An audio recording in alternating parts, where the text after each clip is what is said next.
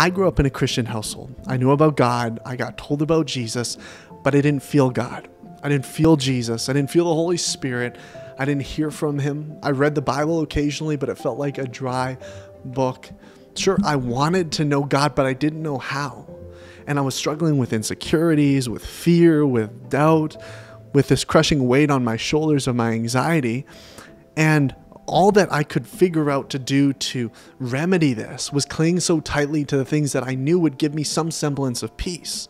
And so, whether that was trying to be a good person, trying to appear as a good person to other people, my identity, I, I clung so deeply onto that, or my money and, and trying to earn as much as I can to save, to have a bank account that I could look at and say, okay, I'm okay. And so long, I, I tried to figure out how to know God. And what I didn't realize was the path to knowing God is about giving up. It's about giving up in three different ways that we're going to talk about today. The first way is giving up your identity. We're going to go to John 4 to learn about another woman who had to give up her identity in order to know God. This is what Jesus said to this Samaritan woman at the well. He said, Jesus said to her, Go call your husband and come here. And the woman answered, I have no husband. Jesus said to her, you are right in saying, I have no husband, for you have five husbands, and the one you are with right now is not your husband. So this woman's identity was tied up in sexual promiscuity. And I don't know about for you what your identity is tied up in, whether it's the sins that you've committed in your past, or the successes of your past, or the successes of your future, or the sins of your present. Whatever your identity, however you see yourself, when you cling so tightly to that old identity that either brings you security or you get tied up in it in such a way that that shame kind of overwhelms you that's preventing you from actually finding God. You see, she had to come face to face with her sin. She had to come face to face with who she truly was. And Jesus was blatant about this. He was blunt about it. And it shocked this woman because she wondered, okay, who are you? Are you a prophet or, or what's going on here? Jesus ends up telling her about the fact that he is this water of life, this living water that will satisfy her. After Jesus reveals himself to her as the Messiah, she goes joyfully into the town proclaiming him as Christ. So she had to come face to face with her identity, with her sin, about the fact that she was a sinner. And we have to come face to face with our shame, with our guilt, with our sin. But then Jesus is ushering us into a new identity. She went from promiscuous to proclaimer of the gospel. For me, that identity was being a good Christian. I thought I was a good Christian. I portrayed to the world that I was a good Christian. I'd show up early for church just to sit on the nearest pew to where I knew the pastor was going to come in and see that I was reading my Bible. And he would think, oh man, Isaac is such a strong Christian. He's such a good kid. And yet, that was just my portrayal of a good Christian. In my heart was sin, it was rebellion, it was pride, it was fear, it was anxiety.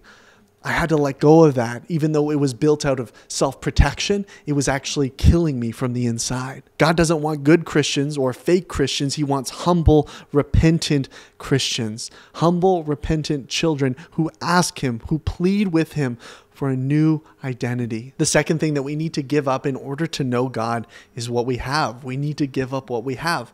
It reminds me of a story where Jesus talks to this rich young ruler, and this rich young ruler says, Hey, God, like, what good work must I do to enter the kingdom of heaven? And Jesus says, you know, you need to obey your mom, mother and father, you need to adhere to the commandments, you need to do all of these things. And he says, Hey, Jesus, I've done this. And maybe this reflects on us. We say, Hey, you know, God, I did all the things I was supposed to do. So can I, can I enter the kingdom of God? And Jesus says, Well, you need to give away all your possessions then to the poor. And this startles him, this strikes him, and he goes away sad. Why does he go away sad?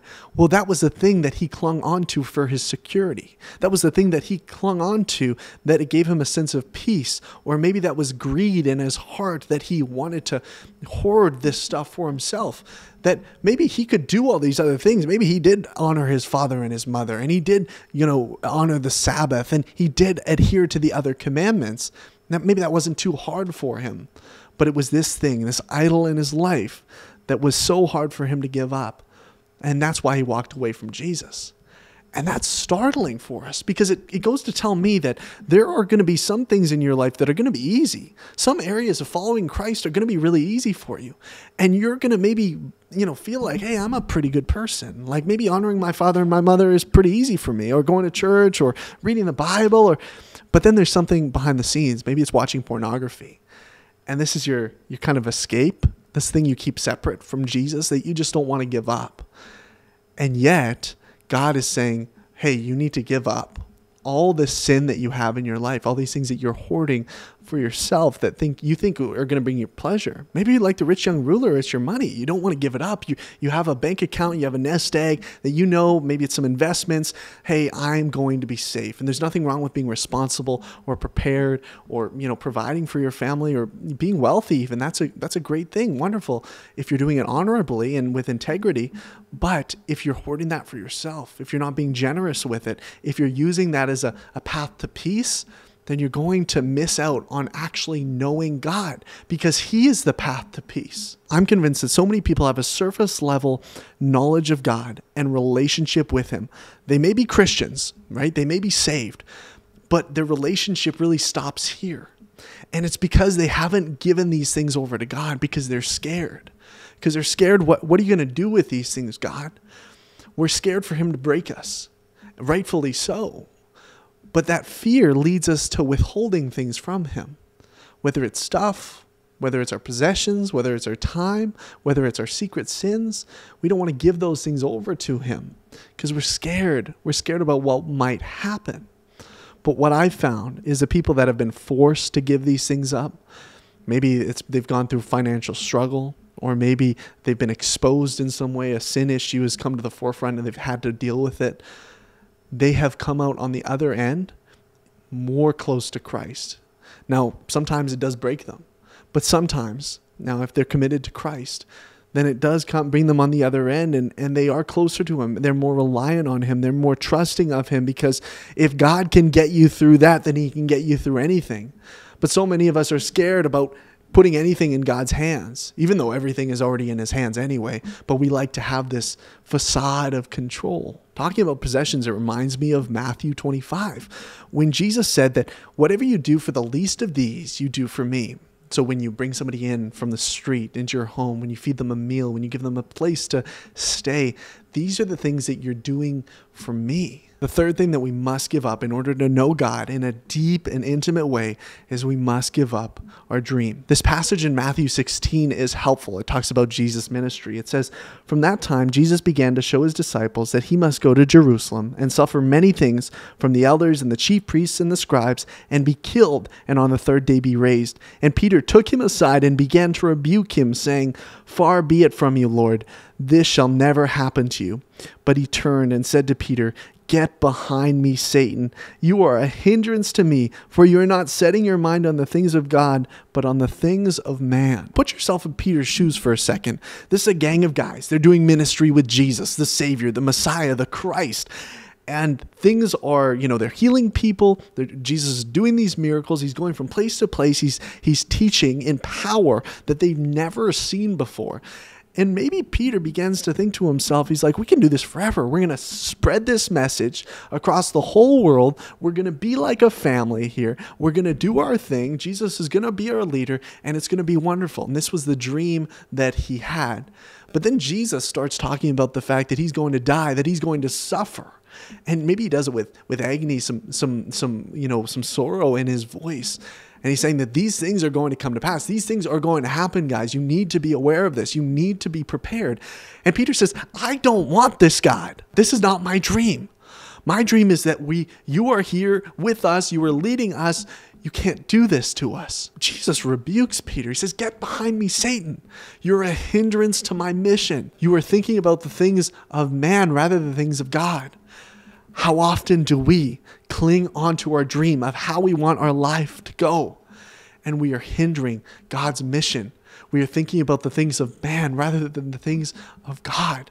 Now, guys, I have to be honest with you. This is one of the hardest things to let go. You're a Christian. You've given your identity to Him. You're asking Him to transform you daily. You're a child of His. You're asking, you're, you're giving up what you have to Him on a daily basis, and you're asking Him to use it and that you'd steward it well and yet you still have these desires and these dreams in your heart.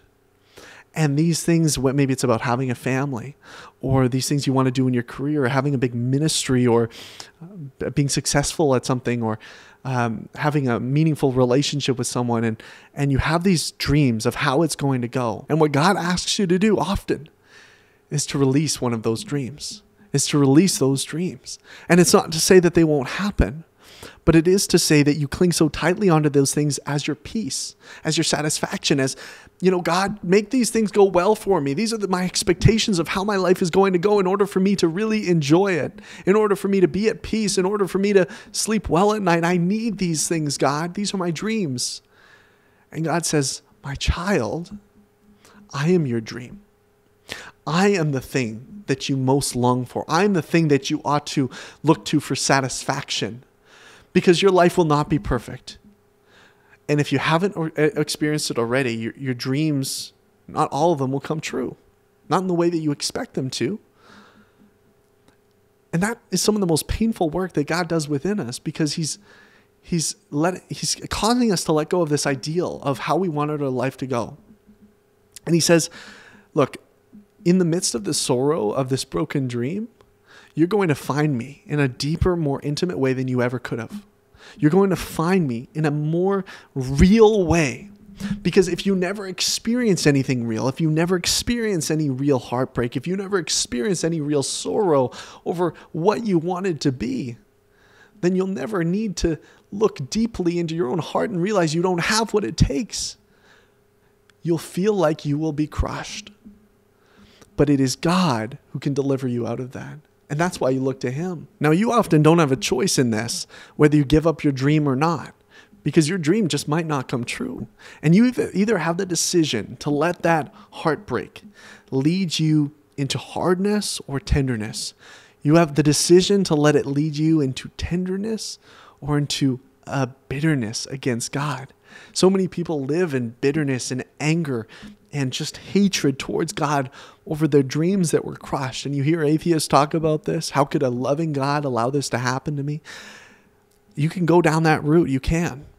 But if you want to find God, if you want to meet Him in an intimate way, then you need to cry out to Him to let this heartbreak soften you. Now, in the midst of this, the truth is, God finds us. Now we can find Him. We let go of the things that we have. We let go of our identity. We let go of our dreams. And God meets us. He meets us in every moment of every day. He will never leave us and nor forsake us. Nothing can separate us from His love as His children. And you need to know that. His grace is there for you as a gift. It's not something that you earn. It's not something that you you've gained by what you've done. It's it's an act of grace on his on his part.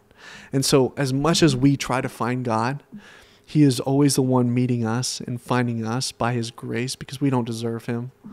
You know, if God decided to make Himself absent, we'd never find Him.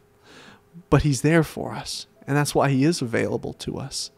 And I, I'd ask you to give up. I'd ask you to give up, to see the end of yourself. And in the midst of this giving up, God will meet you just like he met me. Thanks for watching this video. If you enjoyed it, subscribe because I'm putting out new videos all the time. A huge thank you to everyone on Patreon, the Daily Disciple Patreon that supports this work on this channel and on TikTok and on Instagram and all sorts of other places because it is so wonderful that you guys can support what I'm doing and helping people follow Jesus daily. That's the mission of my heart and you guys enable me to do that. So thank you so much and until next time, God bless.